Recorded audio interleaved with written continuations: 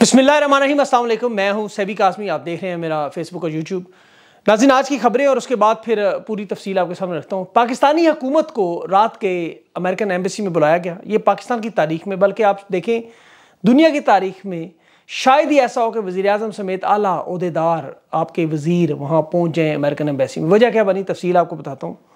दुनिया की एजेंसियाँ किस तरह हनी ट्रैप इस्तेमाल करती हैं? क्या हमारी नंबर वन एजेंसी भी इस तरह कॉम्प्रोमाइज़ हुई, हनी ट्रैप का शिकार हुई? इसके साथ हुकूमत के वकील ने बहुत बड़ा ब्लेंडर मारा। सुप्रीम कोर्ट का मनसूबा इलेक्शन के हवाले से सामने आ चुका है। वो तफसील मैं आपके सामने रखता हूँ। मजहबी रहनमा सू भी बार कौंसल, बड़े वकला, एजेंसियाँ इस्टेबलिशमेंट इम्पोर्टेड हुकूमत, ये क्यों इस वक्त दो जजेस को हर सूरत में जजेस के पैनल का हिस्सा बनाना चाहते हैं? इसके साथ साथ महँगाई, आपको पता है, मुल्क की बुलंद तरीन सतह पर। दिवाली अपने नज़दीक और जो चीन की तरफ़ से पैसे मिले वो क्या मामला है? और चौबीस हज़ार एक सौ सत्तर कनाल ज़रिए ज़मीन आर्मी को अलाट। जेल भरो तहरीक और दो भाई अमरीकी जेल से आज़ाद। बलोचिस्तान के ख़तरनाक हालात। ये है आज का झलकियाँ। अमरीकी इंतज़ामिया की हलचल शुरू हो चुकी है। क्वाड के बाद एक नया इतिहाद बनाने की कोशिश। पाकिस्तान को कैसे शामिल किया जा सकता बड़ा मुश्किल टास्क है। चीन के मुखालिफ और सबसे पहले अमरीकी सेक्रटरी दिफा, टोनी ब्लिंकन, एक मार्च से तीन मार्च हिंदुस्तान का दौरा करने जा रहे हैं। बड़ा अहम दौरा है। इसमें वो हिंदुस्तान को इस पर तैयार करेंगे कि पाकिस्तान की माली मदद करे। अच्छा बड़ी हैरान कन बात आपको लगेगी ये कि बाज़ाहिर पाकिस्तान का दुश्मन पाकिस्तान की माली इमदाद करेगा। इसके पीछे क्या स्टोरी है? तो देखिए, अमेरिका को इस वक्त सबसे बड़ा खतरा चीन की तरफ़ से। जो पाकिस्तान को कर्जे दिए गए इस वक्त, उसमें 30 अरब डॉलर, पाकिस्तान के कर्जों का 30 फ़ीसद चीन के पास है। अमेरिका चाहता है हिंदुस्तान ये कर्जे चीन से खरीद ले। बड़ी अहम बात है, आपको समझ आई। देखें कि चीन ने पाकिस्तान और श्रीलंका को इनके बकोल कर्जों के जाल में फंसाया हुआ है। उसे निकालने का एक यही तरीका कि आप उसे कर्जे खरीदें जिस तरह होता है कर्जा बिकता है। बाज़ाहिर बड़ा मुश्किल काम है। देखिए, चीन क्यों राज़ी होगा? हिंदुस्तान क्यों इतना बड़ा रिस्क उठाएगा पैसे दे? और फिर पाकिस्तान, सबसे बढ़कर चीन के उसके तसलत से निकल, हिंदुस्तान पे चला जाए। ऐसा हो सकता है। बड़ी गहरी और साजिश ये है। और देखिए, कोशिशें तो उनकी हमेशा से जारी हैं। अब अमेरिका के साथ हिंदुस्तान की भी यही कोशिश है कि वो इकतसादी तरक्की करे। जिस तरह चीन ने, देखे इन्वेजन नहीं की, आज़ाद, वो तरक्की करते रहे इकतसादियात में, मीशत में। जंग की तरफ़ नहीं गए। यही मामला हिंदुस्तान कॉपी कर है। चीन एशिया की सुपर पावर है, दुनिया की दूसरी बड़ी ताकत है, उसके मुशी ताल्लुक डिप्लोमेटिक इन्फ्लुएंस ये दुनिया में, इसका अंदाज़ा आप ये कर लें कि इन्होंने 12 महीनों का मंसूबा बनाया है कि यूक्रेन की और रूस की सुलह किस तरह करवाई जाएगी। ये चीन कर रहा है। और चीन इस वक्त दुनिया के तमाम ममालिक, आप देखें पूरी दुनिया के ममालिक, देखें, गहरा असर अगर देखें दिफा है, कल्चर है, मीशत है, तजारत है, किसी भी चीज़ से आप मुंसलिक करें तो आप हैरान हो गए चीन आहिस्ता आहिस्ता अरब ममालिक, ईरान से लेकर अफ्रीकी ममालिक और यूरोप के इटली तक पहुँचा हुआ है। और पाकिस्तान दुनिया का वाद ममालिक, मुल्क है जहाँ पर सबसे ज़्यादा चीन का असर रसूख और इन्फ्लुएंस मौजूद है। और हिंदुस्तान, अमरीका इसी असर रसूख से निकालने के लिए कर्ज़ों से निजात पहले दिलाना चाहते हैं। और ये बात डोनाल्ड लू ने, टोनी ब्लिंकन के अभी हिंदुस्तान के एक मार्च के दौरे से पहले बात कर दी। हिंदुस्तानी अखबार में रिपोर्ट आ चुकी है कि अमेरिका इन तमाम ममालिक से बातचीत कर रहा है कि आप अपने फैसले खुद करें, अपने जो पड़ोसी हैं, इनको निकालें, बड़े भाई का किरदार अदा करें। जिस तरह बांग्लादेश, श्रीलंका में आपने किया, अब इधर भी करें। तो वो उसके लिए तैयार हैं। दूसरा उसका देखें, सबूत ये आपके सामने रखता हूँ कि जिस दिन ये मामला शुरू हुआ, चीन के डेवलपमेंट बैंक ने उसी दिन 700 मिलियन डॉलर पाकिस्तान को कल मंजूर कर दिए। दूसरा मामला हथियारों का आपको पता है, जिसे रूस से हिंदुस्तान से हथियार खरीदते हैं, उनकी सप्लाई पर बड़ा गहरा असर पड़ चुका है। दूसरी तरफ़ यूक्रेन को हथियारों की सप्लाई ज़ोरों शोर से जारी है। अब इसमें भी चीन का बड़ा किरदार आ रहा है। तो इसलिए मैं आपको बड़ी तफसील से इसकी इसकी सारी बात आगे रखूँगा इंशाल्लाह, लेकिन आप ये तस्वीर देखें। अमरीकी secretary of state Mike Pompeo Imran Khan से झुक कर मिल रहा है। आपको नज़र आ रही है। दूसरी तरफ़, तारीख में पहली मरतबा, शहबाज शरीफ, अपने वज़ीर दिफा और शेरी रहमान, जिसके बारे में आपको बता चुका हूँ, अमेरिकन एम्बेसी के रात को भागते हुए। देखिए, मैंने आपको बताया था, कल जहाज़ हिंदुस्तान से आया। उसमें अमरीकी सेनेट के majority party leader Charles Schumer अपने वफ्त के साथ थे, हिंदुस्तान से पाकिस्तान पहुँचे। जहाँ हिंदुस्तान में उनकी तजारत सरमाकारी ख़त्े की सिक्योरिटी सूरत और पाकिस्तान में सैलाब ज़ाहिर है, उस पर तो बात करनी है। अब ये बातें वो हिंदुस्तान में भी करके आए हैं और उसके बाद उनका जहाज़ इसराइल नतन के पास इंतहाई अहम मामला के लिए। तस्वीरें आप देख सकते हैं आपके साथ। ये नया इतिहाद जिस तरह चीन और हिंदुस्तान के दरमियान लद्दाख में देखें, शदीद लड़ाई हुई, लेकिन मामला ख़राब भी हुए। उसके बावजूद हिंदुस्तान चीन कॉन्फ्रेंस में भी बैठते रहे, तजारत भी करते रहे, बल्कि इसमें इजाफा होता रहा। रूस के साथ आप देखें, दुनिया की जंग भी हो रही है, एक सौ तरतालीस मालिक के मुखालिफ, लेकिन मगरब रूस को तेज गैस तेल की सप्लाई भी कर रहे हैं, तजारत भी कर रहे हैं, तमाम मामला चल रहे हैं। तो उसका एक नया तरीका निकाला जाता है। अब चीन की कोशिश है यूक्रेन रूस के मामले पर बारह महीनों का मनसूबा पुरमन हल निकालने के लिए, पीस। जिसे कहते हैं। तो यूक्रेन के सदर जलंसकी ने कल कहा है कि चीन की तरफ़ से मैं तो शी जिनपिंग से मुलाकात के लिए तैयार हूँ। तो ये मुलाकात जिस दिन तो एक नया बाब शुरू हो जाएगा, एक नया चैप्टर शुरू हो जाएगा तारीख में। लेकिन उस पर इंशाल्लाह तफसील आपको देता रहूँगा। फ़िलहाल जो जो अमेरिका के इस इतिहाद के मुखालिफ हैं, उन्हें निशाना इबरत बनाने की कोशिश। और पाकिस्तान में तो पहले से शुरू हो गया लोग पूछते हैं ना, देखें, इमरान खान की कोई इतनी बड़ी गलती नहीं थी।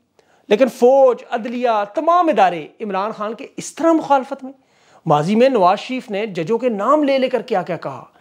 जजेस के, जर्नेलों के, पीपल्स पार्टी के, या आपने देखा हो, नून के किसी वर्कर को कभी नंगा करके मारा हो? नवाज़ शरीफ ने सीनियर अफसरान को कहा कि आप सीनियर्स को हुक्म ना माने, आयन पर चलें। यही बात शहबाज गिल ने की। लेकिन क्या नवाज़ शरीफ के भाई शहबाज शरीफ को या मरी या किसी और को नंगा करके मारा गया? इमरान खान तो बार बार ये कहता रहा, मज़बूत फौज पाकिस्तान की ज़रूरी है। कई दफ़ा तो कहा, मेरे से ज़्यादा फौज ज़रूरी है। तो फिर मामला क्या था? असल इंटरनेशनल साजिश जो मैं आपको तफसील सारी बताई। वजह भी साफ़ है। अब नवाज़ शरीफ, आसफ जरदारी या फौज की जर्नेल इनका ना इतना विजन है, ना इतनी सोच है। अगर हो भी ये दो चीज़ें तो डॉलरों से वो सारी चीज़ें बदल जाती हैं। इमरान खान के पास ये दोनों मसाइल नहीं हैं। इसीलिए इंटरनेशनल स्टैब्लिशमेंट और अपने मुल्क की स्टैब्लिशमेंट्स के खिलाफ है। इसने उन्हें नंगा करके रख दिया। देखें सहाफ़ी हुए आपके, मजहबी रहनमा कराम जो बने हुए थे एंटी स्टैब्लिशमेंट होने का दावा करने, दानश्वर कासिम अली शाह जैसे लोग, फौज जर्नेल अदलिया जजेस मीडिया सब के सब खुल कर नंगे आगे पता चल गया सबका।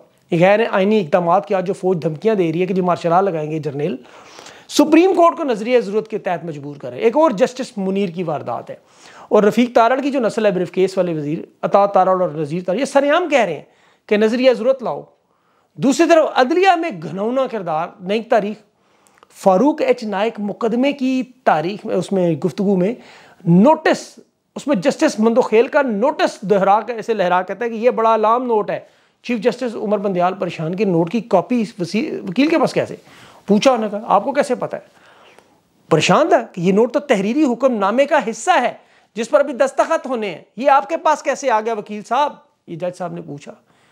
मंदो खेल का अपना फैसला मुकदमे के वकील को देने का मतलब फैसला करने से पहले, पार्टी को पहले से पता होता है। सिर्फ़ ये नहीं, अपने हम ख्याल सहाफ़ियों को व्हाट्सएप भी भेज देते हैं, कल ये फैसला होने जा रहा है, परसों ये होगा। हर चीज़ का पता है। इस्लामाबाद, अपारा की चिड़ियाघर डर्टी हैरी जिसे कहते हैं, वो कह रहे हैं लोगों को कि इस जज के साथ मैंने ये करना है, उस जज के साथ मैंने ये सरेआम धमकियाँ बता रहे हैं ये दो जजेस को इस बेंच का हिस्सा बनाने, एक जस्टिस फायज ईसा और दूसरे सरदार तारक मसूद। अब फायज ईसा साहब का देखें, जब दिल चाहे वो पार्लियामेंट के अंदर घुस जाते हैं, और मतलब जब दिल करे वो कहते हैं, ये जो मेरा घुसना था इनके अंदर, ये गैर कानूनी है।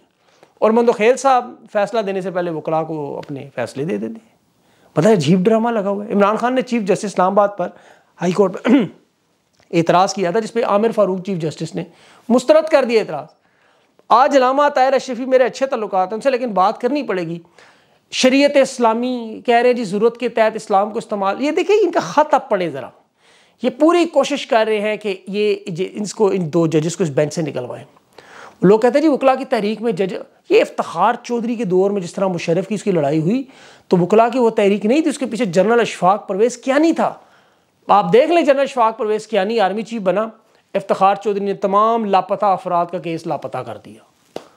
इशफाक कियानी और इफ्तार चौधरी, फिर दोनों ने मिलकर अरबों रुपया कमाया आपके सामने। उसका भाई भी है आठ अरब केस में आज़ाद अदलिया का मंजन अलग दुनिया में बिकता रहा। आज जस्टिस फायज भी ईसा भी वही काम कर रहे हैं।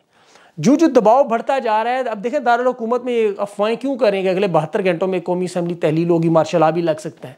नज़रिया ज़रूरत को इस्तेमाल किया जा रहा है फिर और पूरी कौम इस वक्त मिलकर जिस तरह जनरल बाजवा को आपको पता है लान तान करती है, जिम्मेदार समझते हैं, लेकिन यकीन करें, इनके साथ जो पूरी कमान के लोग और बड़े अहदों पर अदालतें और सहाफ़ी, ये तमाम इस वारदात में शामिल हैं। कुछ लोग तो मजबूर थे, उनकी मजबूरियाँ थी वीडियोज़ थी ऑडियोज़ थी, और आपको होता है बाहर से बनी मतलब बरतानिया का मशहूर मरूफ college, Kings College London military की तालीम में बड़ा मशहूर है। ये तीसरी दुनिया के आपको पता है, बड़े लोग वहाँ जाते हैं, श्रीलंका से, पाकिस्तान से, अफ्रीका से इधर उधर से। ये वहाँ पर जब यंग कैंडिडेट होते हैं कैडेट्स होते हैं जब पढ़े लिखे तो मुस्तबिल में उन्हें अपने मुल्क की सियासी सूरत हाल पर कब्जा करना होता है। बाकायदा तौर पर इन लोगों को फिर हनी ट्रैप में नौजवान लड़कियों की मदद से फंसाया जाता है। दिल फेंक तो सारे हैं चार चार शादियाँ आपको पता है भी खैर चलो तो अच्छा काम है। असल वाक़े की तरह मैं अभी एक, एक फ़ंक्शन पे गया था वहाँ देखे कुछ हिंदुस्तान से भी कुछ लोग आए हुए थे। तो जो नौजवान लड़कियाँ थी उनकी कोई तस्वीर नहीं खींचने दे रहा था और सबके मोबाइल ले रहे थे वो मेहमान। और उन लड़कियों से मैंने पूछा, वजह कि आप लोग क्यों तस्वीर उन्होंने कहा, जी, आप पाकिस्तान से हैं। हमारी कोई तस्वीर आपके साथ वहाँ के मीडिया में आ गई हमारे वालदेन वहाँ सियासत में बड़े ऊँचे नाम है। तो कल को हमने भी आना है तो पंद्रह पंद्रह बीस बीस साल बाद ये तस्वीर बाहर आ जाती है। तो ये देखें कि ये कल कला को सूबे की वजी अला बन जाए कुछ बन जाएँगे ये जो पाकिस्तानी सहाफ़ी के साथ तो ये मामला फिर मुश्किल बनते हैं। इसीलिए वो लोग कहते हैं, ये हमारे जो नौजवान कैडेट्स जाते हैं जो बड़े आला लेवल, तलीम, तरबियत, मिलिट्री अकेडमीज़ में, वहाँ पर उनकी एम आई सेक्स ये बाकायदा वीडियोज़ बना लेती हैं। जब वो लोग किसी बड़े लेवल पर पहुँचे और कहीं को डॉलर्स दे देते हैं, किसी की, आपको पता है, नौकरियाँ शहरीत मुल्कों की, फिर आगे मामला चलते रहते हैं। एम आई सिक्स बरतानिया की बहुत बड़ी एजेंसी का काम ही है। ग्रेजुएट्स पर बड़ी गहरी नज़र रखते हैं। पूरा तरीका वारदात ही है। इसी तरह आई एस आई के सरबराह, उनके बारे में बड़ा कहते फारूक तहसील है वहीं से। तो ये अमेरिका ने अपनी फ्रेंचाइज तो बड़े अरसे से आपको पता है, बरतानिया को दी हुई है बरतानिया से मामला हो रहे हैं, क्योंकि वायसराय उनका आया करता था। ये लंदन प्लान हमेशा इसीलिए शुरू हो रहे हैं। मरियम नवाज़ साहबा का भी जो अरशद शरीफ के हवाले से वहाँ से भागना है लंदन से, वो तस्नीम हैदर, हुसैन नवाज़ की video audio leaks video leaks police के पास देखें प्रोसीडिंग तो हुई है। वहाँ ले गए सारे सबूत। इसीलिए वो वहाँ से भाग कर कभी इधर जाते, कभी इधर, और वो खुलकर जिस तरह पाकिस्तान में खेल रही हैं, साफ़ पता चल रहा है देखिए, अथरी तो वो शुरू से हैं, इसमें कोई शक नहीं। स्कूल की तालीम, कॉलेज की तालीम, फिर उनकी शादी का सिलसिला, उनके तमाम मामला, उस पर एक कॉलम भी था, रोक सको तो रोक लो जिस तरह का। तो अक्सर लोग पूछते हैं कि वो उन्नीस सौ इकहत्तर की जनरल रानी और आज अगर जनरल रानी होती तो क्या फ़र्क था? आज देखिए, जनरल रानी, उस वक्त जनरल रानी गैर सियासी थी। आज जनरल रानी मुकम्मल तौर पर सियासत में है। और इतनी कथरी हो चुकी है, उसके ताल्लुक इतने गहरे हैं कि अभी ये जो निगरान पंजाब ने चौबीस हज़ार ज़रई राज़ी, रहीम यार खान भावल नगर मुजफ्फरगढ़ खानेवाल फ़ौज के डीजी लैंड के हवाले के उसमें अथरी जनरल रानी का पूरा इख्तियार है। वो बंजर ज़मीन थी ख़त लिखा उन्होंने कहा, ज़रई ज़मीन दो। उन्होंने ज़रई ज़मीन दिलवाई उनको।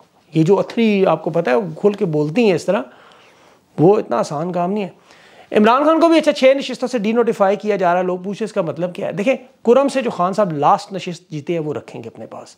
इलेक्शन कमीशन खेल रहा है, आपको पता है गेम, कि ज़्यादा नशस्तें, कानून तो खैर उनका है, कौन सा कानून? जितनी भी नशस्तें आप जीते, वो अब आपको सारी छोड़नी पड़ेंगी। खान साहब मरदान चरसदा पेशावर फैसलाबाद, ननकाना में शायद, और कराची, ये डी नोटिफाई कर रहे हैं। बाकी पैंतीस अरकान के इस्तीफ़े मंजूर करने पर भी एक खेल हो रहा है। और ये देखें चाहते ही क्या है कि तहरीक इंसाफ के लोग जो हैं, वो वापस असम्बली में आ जाएँ, ताकि इलेक्शन को ये लटका सकें जितना मर्ज़ी। इस वक्त तेरह पार्टियाँ, अदलिया इलेक्शन कमीशन फौजी जनरल स्टैब्लिशमेंट पुलिस वगैरह, ये सब एक पेज पे और मगरब पीछे इनके खड़ा है।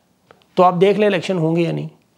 सारी वारदात आपके सामने जेल भरों पर बड़े तहरीक पर बात कर देखिए, सबसे पहले एक याद रखें, ये अलामती तहरीक है। अवाम के दिलो दिमाग में जो पुलिस का फो, खौफ है ना, गाड़ी देख के लोग भाग जाते थे, वर्दी देख के, वो निकल गया है। लोग खुद दरवाजे खोल खोल के अंदर बैठ रहे हैं। पुलिस जो मेगाफोन पे वो फेक वीडियोज़ एक दो जगह चला रहे हैं, जहाँ बंदे नहीं हैं। ज़ाहिर है, उनकी भी वारदात है, तरीका है वारदात। वे खुद इमरान खान की सियासी कैंपेन चला रहे हैं, सहाफ़ी खुद। इमरान खान तो जमान पार्क बैठा हुआ है। पूरे पाकिस्तान में उसकी तहरीक ये लोग चला रहे हैं, जाने अनजाने में। वो जावेद चौधरी साहब कह रहे थे जी कि पुलिस की गाड़ी में ये सारे सीनियर तरीके इंसाफ के जो लोग हैं, बैठे हुए हैं, किसी को रफा हाजत, किसी को दीगर मसाइल।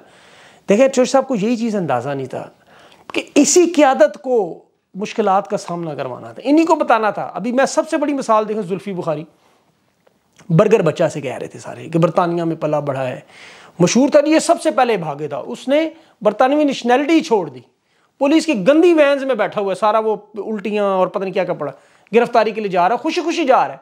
तो कारकुनान लेवल पर आप देखें क्या है। मेरा ज़ाती ख्याल है, जेल भरो तहरीक कामयाब हो चुकी वो जो डर और खौफ था ना, वो जी पुलिस आ रही है जी, पकड़ लेंगे जी, ये कर लेंगे। बहुत लोगों के इधर से उधर निकल गए। जब पकड़ो, मिलते हैं, आप पुलिस कर रहे और खुदा का वास्ता है बैठे ना। ये वही पुलिस थी जो 25 मई को उनके सामने दहशत की अलामत थी, लोग देख कर भाग रहे। आज देखें तो ये यही ये स्ट्रैटेजी होती है सिखाना कारकुनान को। आखिर में दो जो पाकिस्तानी कराची में मुशरफ ने बेचे थे, जिस तरह इन्होंने पहले जरदारी वगैरह ने पाकिस्तानी बेचे थे, धड़ाधड़, बीस साल बाद वो लोग वापस आ रहे हैं गोनताना बंद कर दिए वो उन्होंने अमेरिका ने, कि उसमें कुछ छः, सात सौ बंदा इन्होंने लेके थे, चालीस ममालिक थे। अब यमन के लोग वहाँ ज़्यादा रह गए ये तो दो पाकिस्तानी भाई थे कराची से उठाए गए थे। ना कोई मुकदमा, ना कोई वकील, ना कोई जज, ना कोई इंसाफ, ना कोई वकील। बीस साल बाद उन्हें, जी, जाओ जी, अपने घर। कुछ निकले ही नहीं। बीस साल उनको वो रगड़ा वहाँ दिया गया, अकबर अल्लाह माफ़ करे। वो तो आपने बहुत सारी फ़िल्में ऐसी देखी होंगी। अफसोस ये है कि जब आपके मुल्क में बिकने वाले ऐसे मुशरफ जैसे, क्यानी जैसे, ऐसे रहीस ऐसे ऐसे लोग हों, जिनके अंदर ना कोई गैरत हो, ना कोई इंसानियत हो तो फिर ज़ाहिर है अपने लोगों को पकड़ के हवाले करते हैं। किसी ने कोई गुनाह किया, जुर्म किया तो कानून के मुताबिक, लेकिन कानून कौन सा? अभी मैंने आपको कानून की सारी बता दी है वारदातें, ये कानून की हालात हैं। तो बस, चल सो चल, निज़ाम है। तो इन लेकिन देखिए कुछ लोग कहते हैं मायूसी। मैं एक बात का बड़ा अच्छी तरह कायल हूँ कि मायूसी कुफर की तरफ़ इंसान को लेके जाती। ये हमारा दीन हमें सिखाता है, इसलिए कभी मायूस ना हुआ। जब भी आपको मायूसी की जेन में फ़ौरन आप उस वक्त अल्लाह को याद किया करें, क्योंकि अल्लाह रब्बुल इज़्ज़त का ये वादा है, मायूसी नहीं अच्छा गुमान, जैसा गुमान आप रखें, वैसे ही फैसले होंगे। मेरा तो गुमान अच्छा है, मुझे तो लगता है इंशाल्लाह सब कुछ ठीक होगा, सब कुछ बेहतर होगा और हम भी वापस जाएँगे। अपना खास ख्याल रखें, अगली वीडियो तक के लिए इजाज़त अल्लाह हाफ़िज़।